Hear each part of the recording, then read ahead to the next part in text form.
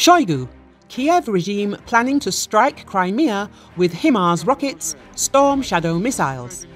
Ukraine's armed forces command is plotting to deliver strikes on Russian territory, including Crimea, with HIMARS rockets and Storm Shadow missiles, Russian Defense Minister Sergei Shoigu said at a ministry board meeting. According to our data, the leadership of the Ukrainian armed forces is planning to deliver strikes on the territory of the Russian Federation, including Crimea, with HIMARS rockets and Storm Shadow missiles, he said.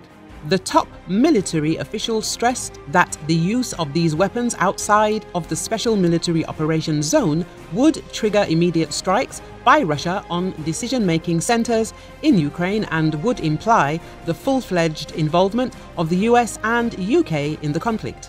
Additionally, Shoigu noted that the Kiev regime is continuing its attempts to mount attacks south of Donetsk and in the Zaporizhzhia and Donetsk areas, engaging its elite NATO trained units as well as a large number of Western supplied weapons.